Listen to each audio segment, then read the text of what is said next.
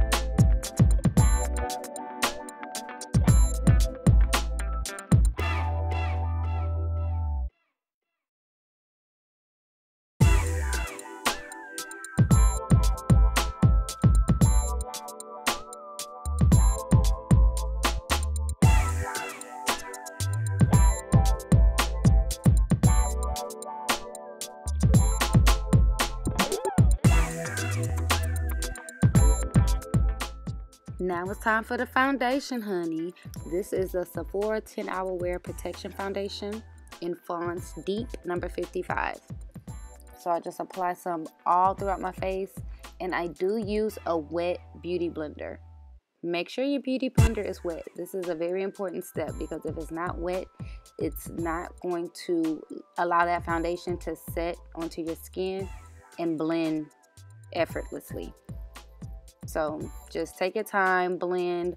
I always go down into my neck, my hairline, and into my ears just to make sure my shit is laid. So take your time on this step and make sure your beauty blender is wet. Or if your brush you're using, make sure you spray with some Fix Plus or something. Something. Just don't use nothing dry, child. Like, you don't want no dry ass face. Back again with the NARS concealer.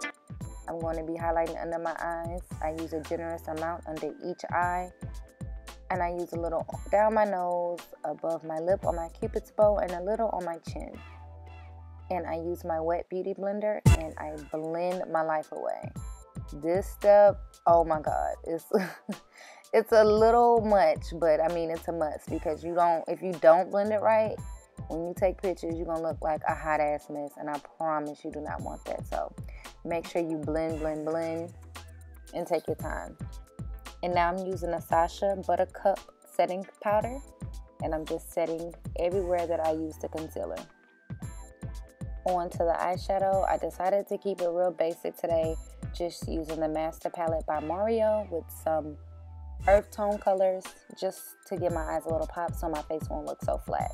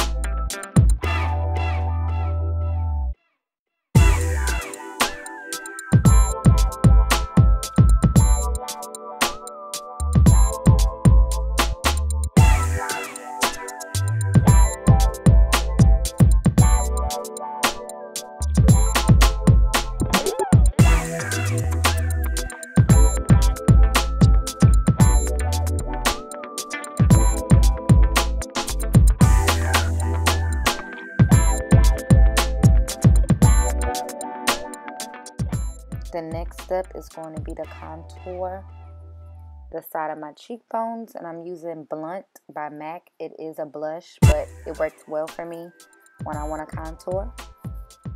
And I, when I'm blending my contour in, I make sure I go into the hairline and into my ear a little bit because I really want my contour to look seamless. I don't want to just line down my cheek. Like, no. You want it to blend to look natural, basically, like the natural shape of your face. And excuse the fish face, but I don't realize I'm making a face until I watch myself doing it. but that's the only way I get my good contour that I like. Add a quick little eyeliner and onto the highlight. I think this is everybody's favorite part because it just really brings everything together. And what girl doesn't love glitter and shimmer? Like, highlight me up, darling. And I just highlight on my cheekbones, down my nose, my cupid's bow, and a little touch on my chinny chin chin.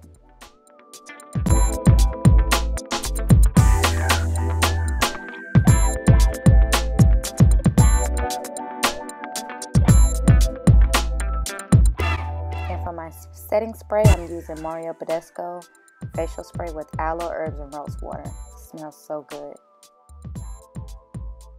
And just some quick mascara on those lashes, darling. I'm allowing my real lashes to grow because I was getting individuals and they were pulling them out. So that's why I'm not using falsies today.